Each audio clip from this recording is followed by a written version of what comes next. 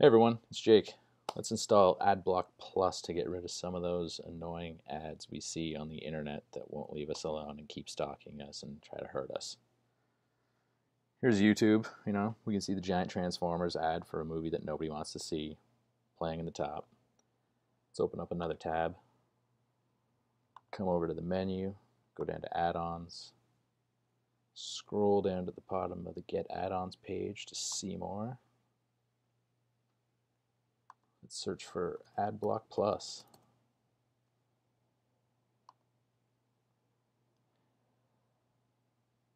It's got 500, 5,321 user reviews. And if we scroll down, 4,735 of those are five stars. So it's probably really good. It actually is. I use this. And it says it's going to block annoying YouTube ads, Facebook ads, and so on. So let's add to Firefox, install, we'll click OK because it's one of the nice ones that doesn't make you restart Firefox. Come back over here to YouTube and we will refresh to see if that ad goes away. Look at that. No more ad at the top of the page so we can see more content right from the start. I like it.